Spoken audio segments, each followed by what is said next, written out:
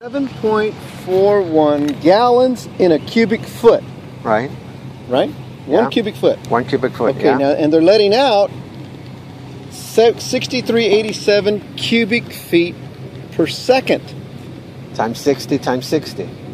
So, again, so like I said, so you got, either 7.41 gallons in one cubic foot.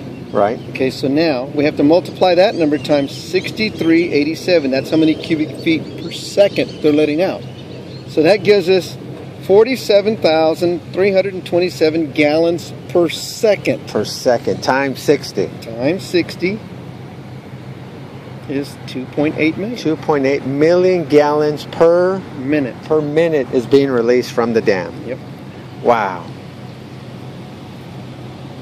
We could pass some of this to California. That'd be good, huh? Yeah. Fuck. 2.8, yeah, it's roughly 2.89. 2.8, 2.839, 600, so you're right. Wow.